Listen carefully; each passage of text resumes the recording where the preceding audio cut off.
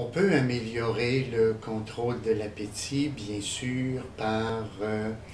sa volonté, son désir de se discipliner, mais il est important de souligner aussi que la prise alimentaire est contrôlée par des signaux biologiques qui vont nous pousser à manger davantage ou certaines pratiques qui peuvent nous inciter, euh, nous amener à moins manger. C'est ce dernier point qui est un objectif principal dans le contexte d'une perte de poids. Un des grands enjeux, c'est de développer des aliments, c'est de proposer des habitudes alimentaires, des manières de se nourrir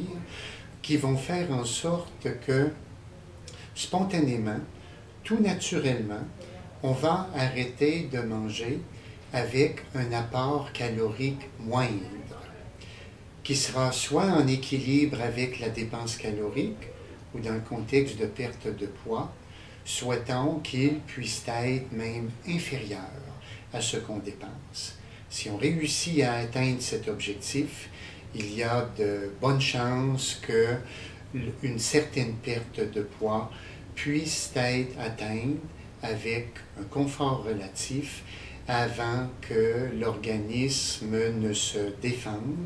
avant que la perte de graisse, elle aussi, n'influence le contrôle de l'appétit.